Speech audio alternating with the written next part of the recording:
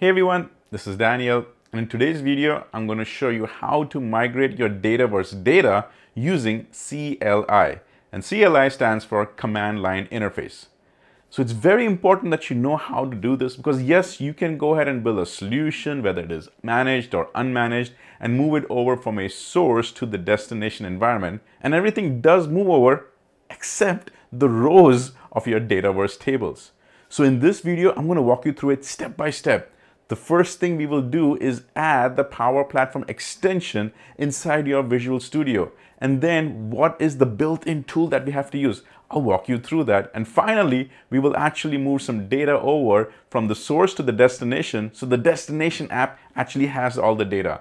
Stick around, this is very important. But first, here's my intro video.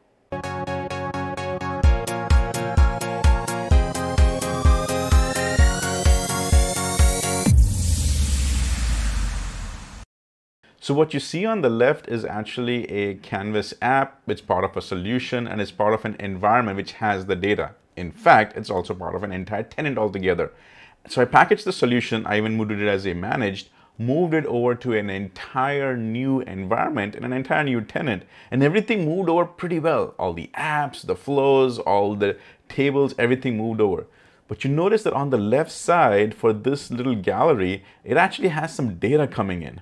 Now, the one on the right, that Canvas app, has the gallery and everything. What it doesn't have is actually the rows of data because it has the Dataverse tables, it doesn't have the rows of data. And that automatically doesn't move over using the solutions concept. You have to have a way to actually move the data over. And that is what I'm going to show you right now. Let me walk you through that step by step. So I'm on my Windows 11 operating system. You could have a Windows 10 and that's completely fine. But what we need is the Visual Studio Code. This Visual Studio Code is free. And in case you don't have it, I've put the link down in the description below. You can go ahead and click on it, download it and install it. And it comes for different operating systems uh, as well as for the Mac and the uh, OS as well.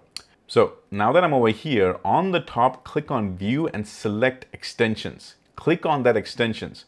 And over here on the list, it'll give you a whole bunch of extensions that are available in the marketplace. Go ahead and do a search for Power Platform, all right? Now, also right now, right now there's two different iterations of it. There is the Power Platform Tools, and then there is the Power Platform Tools preview.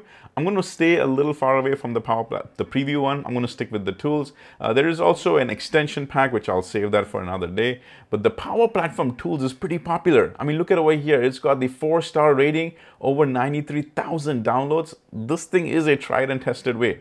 So you go and click on it, it actually gives you an overview. Now, there is a Microsoft documentation on this as well, uh, but I thought I'll walk you through this video because even the whole icon has actually updated, all right? So it's important that you walk through this.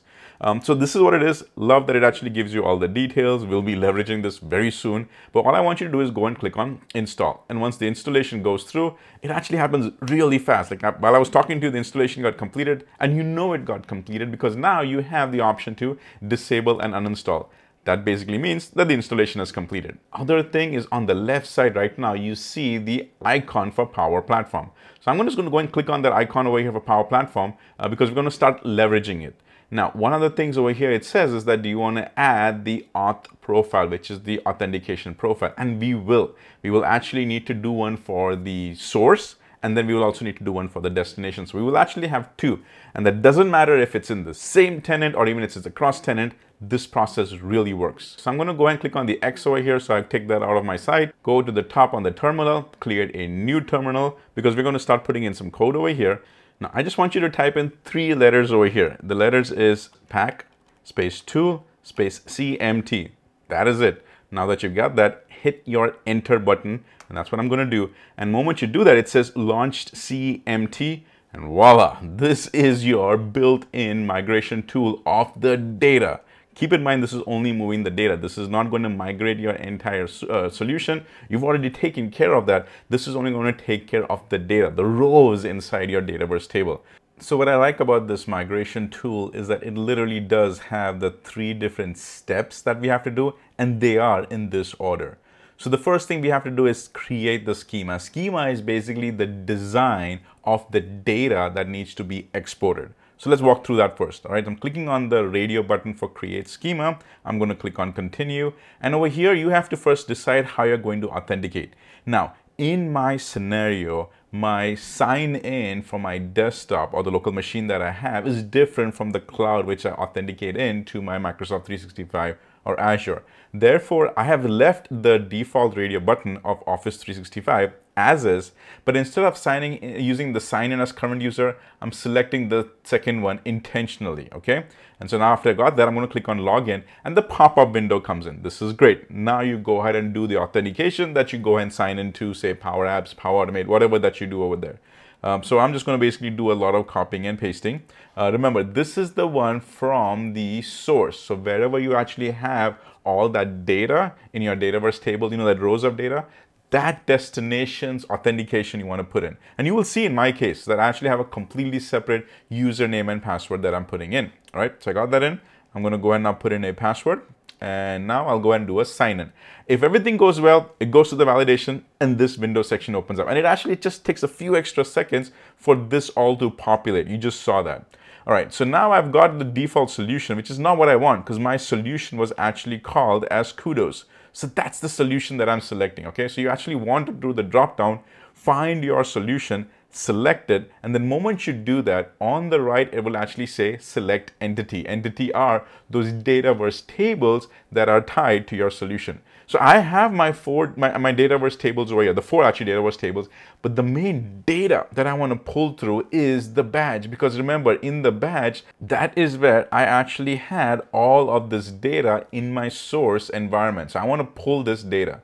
Uh, and that one was actually called as the badge uh, table or entity. So that's what I'm going to say. I'm just going to select the badge. Uh, over here, I'll actually, instead of selecting all of these, all entities, I'm just basically going to go and say add entity. That way it just takes care of everything. Um, and then after that, I'll click on save and export. Now this is an XML file. Remember that design that we are putting in. So the name that I go ahead and put in is I call it as the kudos, which is the solution. Then I put in the Dataverse table name, which is the badge. And then afterwards, what it is. You know, you can go and put in design, you can go and put in XML um, or whatever it is that you want. But I already see that the file type is XML. Uh, so in this case, kudos badge is all I'm going to put in. I'll click on save. And now it says the schema is complete. Would you like to export the data? I'm actually going to say no. I'll just click on no. And then I'll go ahead and now X out of this one and it brings me back to the original window. Now I could have exported the data over there as well. That's completely fine. But in order for me to walk you through this process step by step, I've deliberately clicked no over there. You could export the data directly because you've already created the schema for the badge. You could export the data.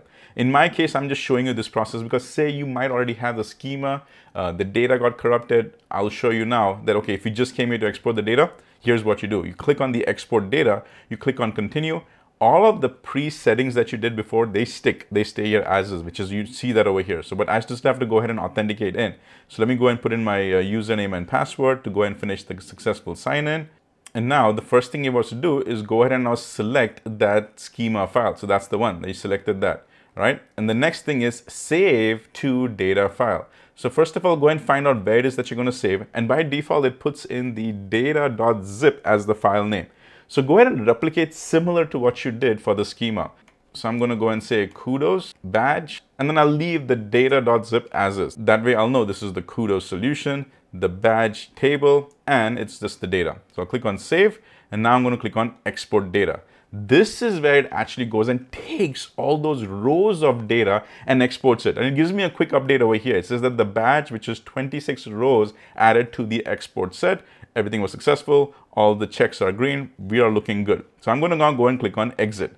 Now we come to the last step, which is import data.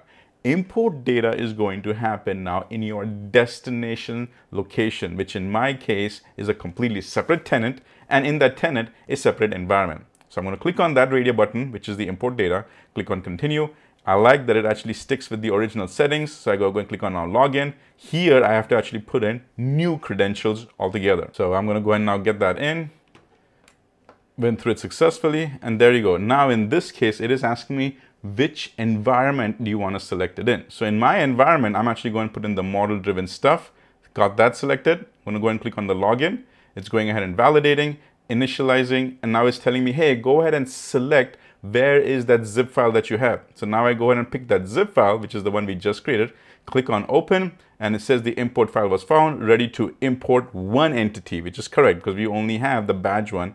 Now I click on the import data and there you go. It selected 26 records, which you and I know is correct. And now the import process has begun. It's actually going and pulling in all the data. I mean, it actually has the data. It's going and importing that into our destination, the new environment.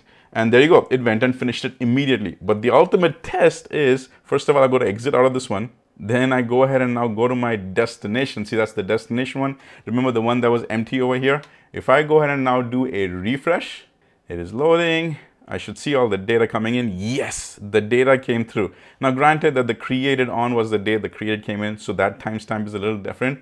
But the final assurance that this worked is let's go and take a look at the app itself. So I'll switch the tabs. I'll actually go outside a little bit. Um, let me actually just refresh this part altogether so that the app actually reloads. This is my Canvas app. Click on Get Started. In my Get Started, I'd like to go ahead and recognize Finn. So I'll select Finn.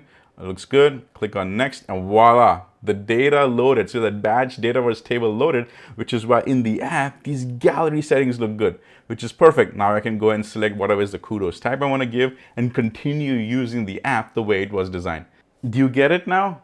Now you understand why important it is for you to know this process of migrating just the data because the solution moves everything else over apps, flows, the tables, the relationships, everything. It does not move the data. But now I've walked you through it. And the important thing is you can pick and choose which table you want to move. So in the process, say in your production side, some table data got stale or corrupted, completely fine. You can go ahead and now import fresh data in because you will already have the same schema file. So you don't need to make any changes to that.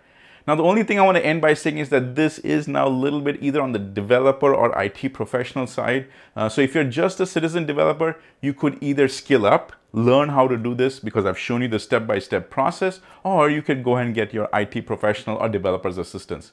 Either way, I've shown you the process. You are good to go. Hopefully you start to leverage this. So now you can go ahead and use the solutions concept and also move the data. And as always, keep using Power Apps hello, hello, hello. So if you like this video, go ahead and click on that subscribe button and smash that like button. Also, if you have a few extra seconds, can you go ahead and put in a comment? Either say something nice or give me ideas for my next video. And until then, see ya.